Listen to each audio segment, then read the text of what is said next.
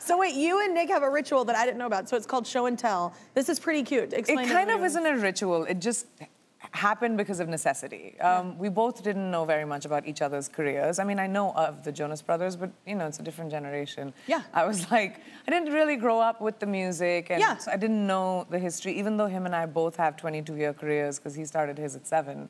Yeah. Um, but so we started showing each other each other's work. Like we would sit and be like, oh, you know, this was the most traumatic day on set for me when my first movie. And he was like, oh, this was my most traumatic show. And we'd kind of show each other our careers or highlights from our careers and talk about what we were really feeling that time. And it's just become this thing that we do whenever cool. we're by ourselves at home. We Yeah. just Go down the rabbit hole. Because y'all met and y'all got together pretty quickly, right? Yeah. So it's kind of cool. You get to know each other like still. Yeah, I mean, That's we knew each other for about two years. Yeah.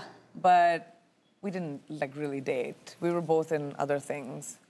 Like doing like other jobs and stuff. Yeah. No, other oh, relationships. Oh, other relationships. oh yeah. Oh, I totally thought you other meant things. jobs. I was trying to be subtle. we both weren't sure. I think that's awesome though. Like to show, like I don't know. I just think it's a very cute way to like get to know your significant other that you think you know everything about. But they weren't there for that whole they time. They weren't, Yeah. right? And I yeah. think it's such a fun thing to, especially both of us have had such public careers. We've both Yeah. grown up in our own way. I love that you both didn't know each other's careers I know, it's so crazy. That's kind of cool. I think so too. Yeah. It's really fun. Like, you know, You're I there for the right And we show each other our embarrassing moments because, you know, that's Yeah. your person and you're safe with them. Yeah. And I And can it's show him funny. like my bad performances and be able to laugh at it. yeah. Oh, me too. I played. Yeah.